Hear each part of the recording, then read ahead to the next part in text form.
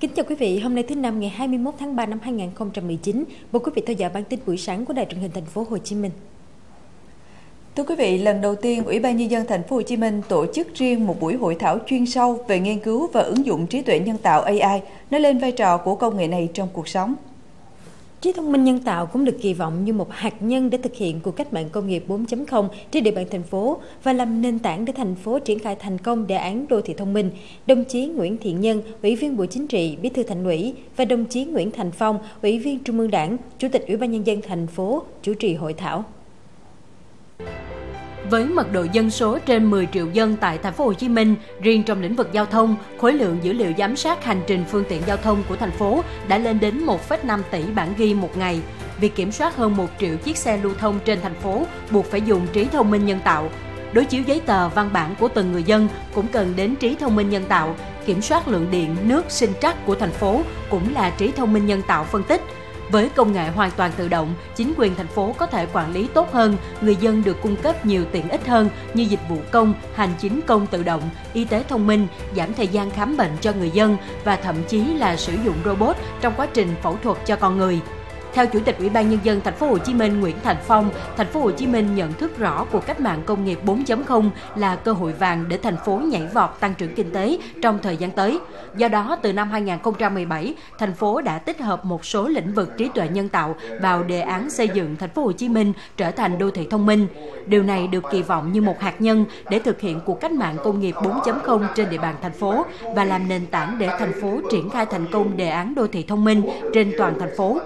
Thành phố Hồ Chí Minh mong muốn các chuyên gia, nhà khoa học, các doanh nghiệp cùng thảo luận và đề xuất các biện pháp thật hiệu quả cũng như những góp ý chân thành, thẳng thắn giúp thành phố tháo gỡ điểm nghẽn cho sự nghiên cứu, ứng dụng trí tuệ nhân tạo trong giai đoạn 2019-2025. Hội nghị ghi nhận hơn 30 ý kiến tham luận được các nhà khoa học, hiệp hội, doanh nghiệp, trong đó tập trung vào ba vấn đề trọng tâm của phát triển trí thông minh nhân tạo là công nghệ, nhân lực và dữ liệu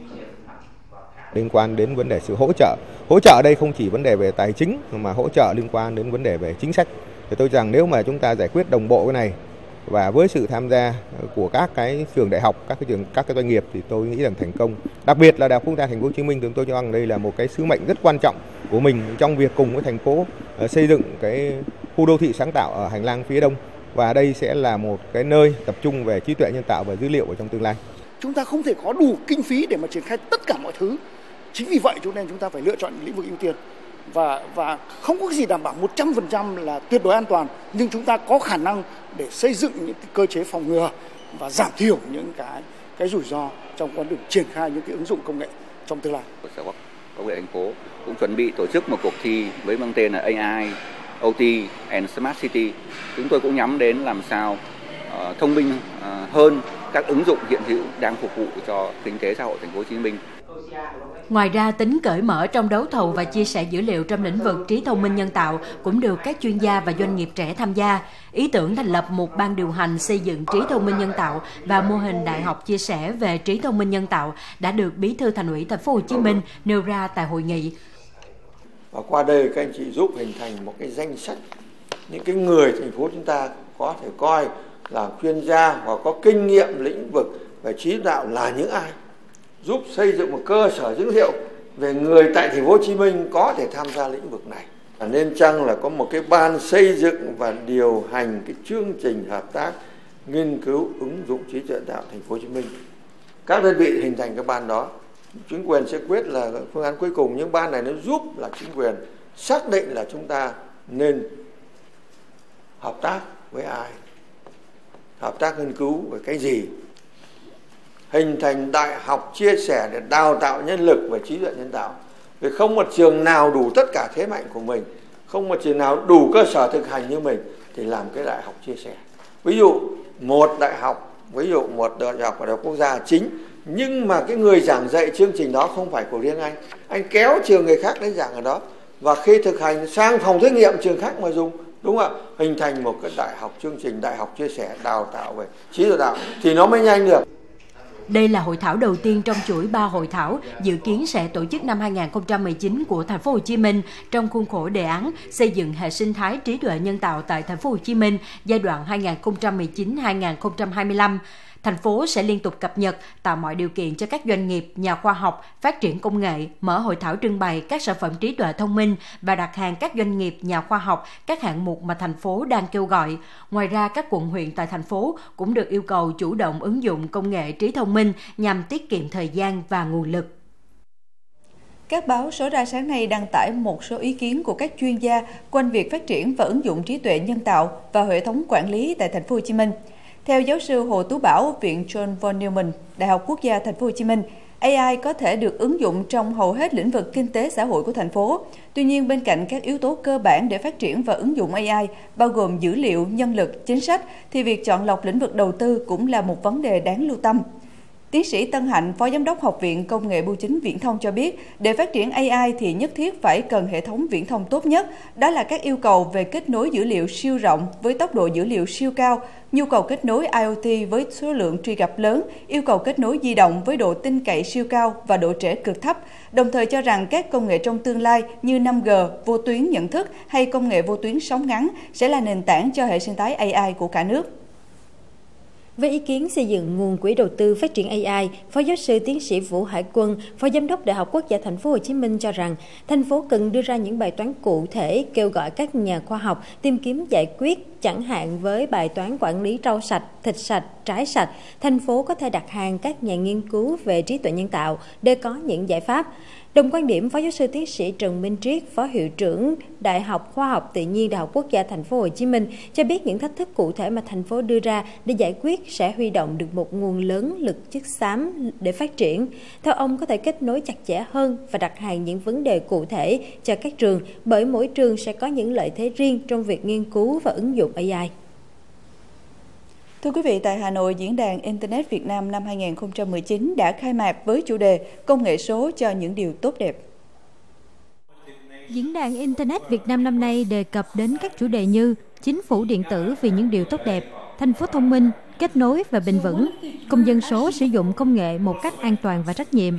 Được tổ chức lần thứ hai kể từ năm 2017, Diễn đàn Internet Việt Nam 2019 là một trong những sự kiện quan trọng nhằm kỷ niệm thiết lập quan hệ ngoại giao giữa Thụy Điển và Việt Nam 1969-2019. Đây là cơ hội để đại diện các nhà quản lý, các doanh nghiệp xã hội, tổ chức phi chính phủ và các nhà đầu tư có một cái nhìn đa chiều về Internet, hướng tới mục tiêu thiết lập một cuộc sống số, một xã hội số tốt đẹp trong tương lai. Chiều qua, Giám đốc Sở Ngoại vụ Thành phố Hồ Chí Minh Lê Quang Long đã đến Tổng lãnh sự quán New Zealand tại Thành phố Hồ Chí Minh viếng và ghi sổ tang tưởng niệm các nạn nhân trong vụ xả súng tại nhà thờ Hồi giáo thành phố Christchurch, New Zealand.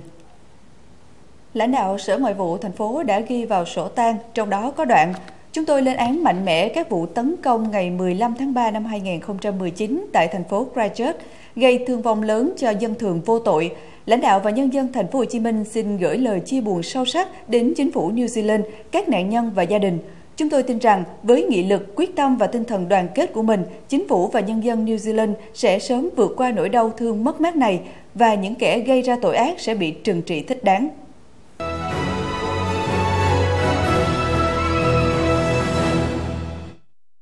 Tiếp tục với các tin tức trong nước. Đoàn giám sát của Quốc hội về việc thực hiện chính sách pháp luật về phòng cháy chữa cháy giai đoạn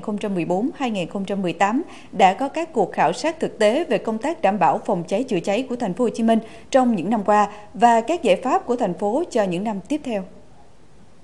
Qua khảo sát thực tế, việc chấp hành các quy định của pháp luật về phòng cháy chữa cháy và việc đảm bảo an toàn cháy nổ của một số khu dân cư phức hợp, khu công nghiệp, cảng hàng hóa, chợ, bến xe và làm việc với Ủy ban nhân dân thành phố Hồ Chí Minh Đoàn giám sát của Quốc hội ghi nhận những nỗ lực của thành phố trong công tác phòng cháy chữa cháy. Mặc dù vậy, do nhiều nguyên nhân, tình hình cháy nổ tại thành phố vẫn diễn biến rất phức tạp. Tính từ tháng 7 năm 2014 đến tháng 7 năm 2018, toàn thành phố xảy ra 6.245 vụ cháy, thiệt hại hơn 834 tỷ đồng.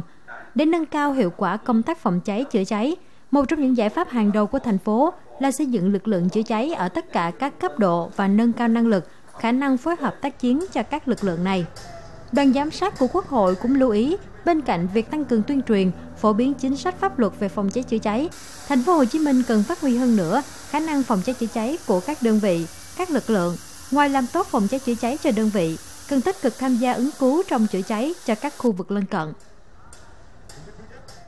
Đến với Ấn Độ kỳ thú 2019 là chủ đề của sự kiện xúc tiến du lịch do Tổng lãnh sự quán Ấn Độ tổ chức tại thành phố Hồ Chí Minh. Sự kiện mang đến Việt Nam những trải nghiệm đa dạng của Ấn Độ về văn hóa, ẩm thực, thiên nhiên rực rỡ, hành hương tôn giáo. Sự kiện nhằm thúc đẩy ngành công nghiệp du lịch, tăng cường đối ngoại nhân dân song phương.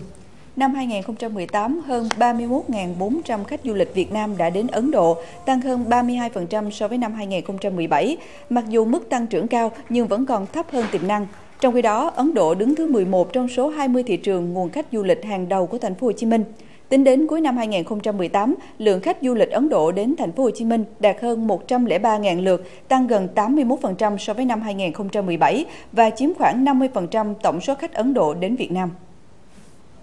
liên quan đến vấn đề xử lý cơ sở gây ô nhiễm môi trường, ô nhiễm môi trường nghiêm trọng trong khu dân cư, thực trạng và giải pháp, đoàn công tác ban đô thị Hội đồng nhân dân thành phố Hồ Chí Minh vừa có buổi khảo sát một số cơ sở sản xuất tại quận Bình Tân. Trong năm 2018, qua kiểm tra, Ủy ban Nhân dân 10 phường của quận Bình Tân đã tổ chức kiểm tra, xử lý 593 cơ sở sản xuất, kinh doanh trên địa bàn quận. Trong đó có 181 cơ sở chưa phát hiện vi phạm, 107 cơ sở ngưng hoạt động, 12 cơ sở thực hiện khắc phục ô nhiễm, 124 cơ sở bị xử phạt vi phạm hành chính, 166 cơ sở bị nhắc nhở, 3 cơ sở còn chờ kết quả mẫu kiểm tra ô nhiễm. Bên cạnh đó, các cơ sở không chấp hành khắc phục ô nhiễm, Ủy ban nhân dân quận đã ban hành quyết định xử phạt vi phạm hành chính và chuyển hồ sơ đến Sở Tài nguyên và Môi trường thành phố xử lý theo thẩm quyền. Thực trạng về các cơ sở sản xuất gây ô nhiễm môi trường khác cũng như giải pháp cho vấn đề này sẽ được phản ánh trong chương trình lắng nghe và trao đổi vào tháng 4 năm 2019 sắp tới.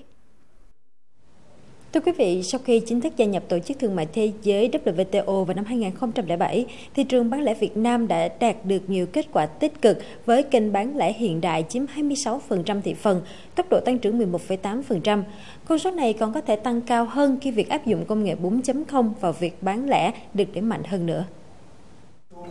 Theo số liệu của Tổng cục Thống kê, Bộ Kế hoạch và Đầu tư, quy mô thị trường bán lẻ Việt Nam những năm gần đây tăng lên nhanh chóng. Nếu như năm 2010 là 88 tỷ đô la Mỹ, thì đến năm 2017 đã là 130 tỷ đô la Mỹ, dự báo sẽ đạt mức 179 tỷ đô la Mỹ vào năm 2020 các doanh nghiệp bán lẻ trong nước cũng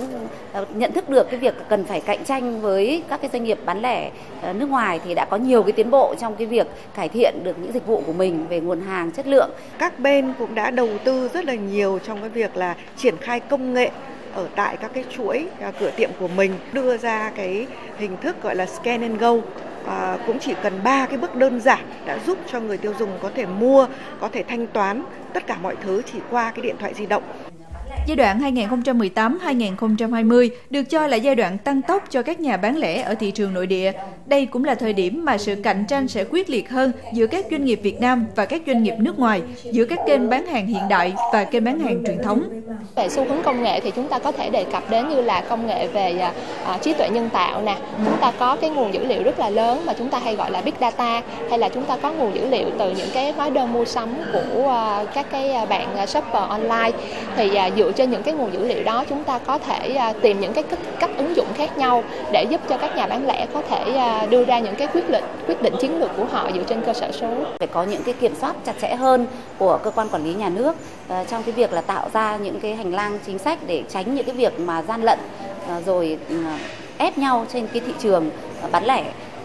như thời gian vừa qua chúng ta thấy hay là đưa những cái hàng hóa không rõ nguồn gốc xuất xứ, hàng giả, hàng lậu vào hệ thống phân phối và làm cho người tiêu dùng quay lưng với những cái kênh phân phối hiện đại mà đang phát triển ví dụ như là thương mại điện tử. Các chuyên gia cũng cho rằng để phát triển thị trường bán lẻ bền vững cần hoàn thiện thể chế, nâng cao hiệu quả thực thi pháp luật về hoạt động thương mại thị trường trong nước, tăng tổng cầu trong nước và phát triển thương mại điện tử.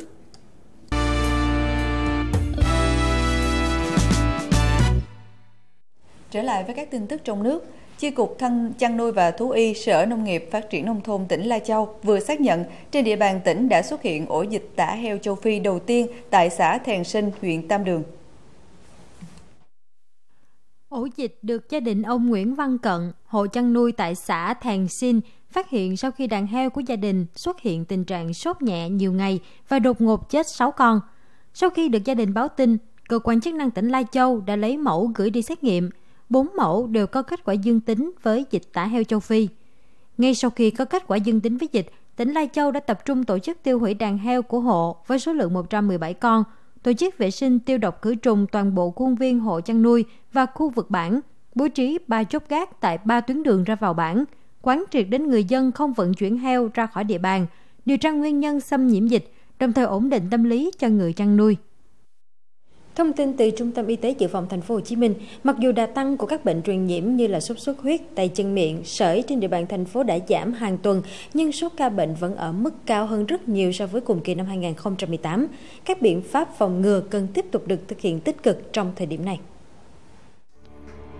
Số ca sởi nhập viện trong tuần qua là 87 ca, giảm 33% so với số ca mắc trung bình 4 tuần trước. Tuy nhiên, 24 trên 24 quận huyện trên địa bàn thành phố đều có ca mắc sởi. Các quận có nhiều ca bệnh là Bình Tân, Bình Chánh, quận 8. 49% bệnh nhân trong độ tuổi từ 18 tháng đến 10 tuổi, trong đó 96% chưa được tiêm chủng, 4% chỉ mới tiêm một mũi vaccine phòng bệnh. Ngoài ra còn có 19% là trẻ dưới 9 tháng tuổi, chưa đến tuổi tiêm phòng và chứng tỏ số trẻ này không được hưởng kháng thể từ mẹ truyền sang.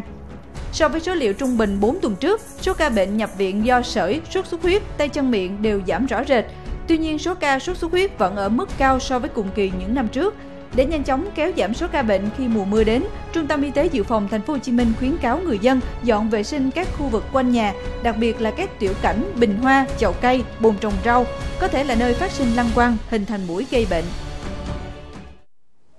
Thông tin từ Bộ Giáo dục và Đào tạo, thi Trung học phổ thông quốc gia năm 2019 sẽ diễn ra từ ngày 24 đến ngày 27 tháng 6. Công tác chấm thi các môn tự luận vẫn giao cho các địa phương chấm, nhưng Bộ sẽ giám sát. Tỷ trọng điểm bài thi và điểm trung bình cả năm học lớp 12 sẽ điều chỉnh từ 50-50% lên 70% điểm bài thi và 30% điểm học bạ.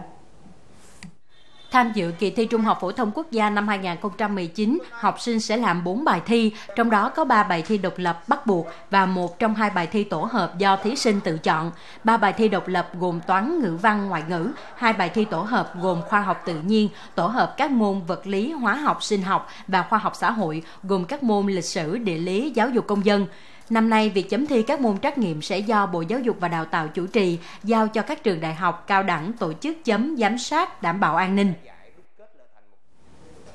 Và những thông tin vừa rồi đã khép lại bản tin sáng nay của Đài truyền hình Thành phố Hồ Chí Minh. Cảm ơn sự quan tâm theo dõi của quý vị. Hẹn gặp lại quý vị trong các bản tin tiếp theo. Kính chào tạm biệt.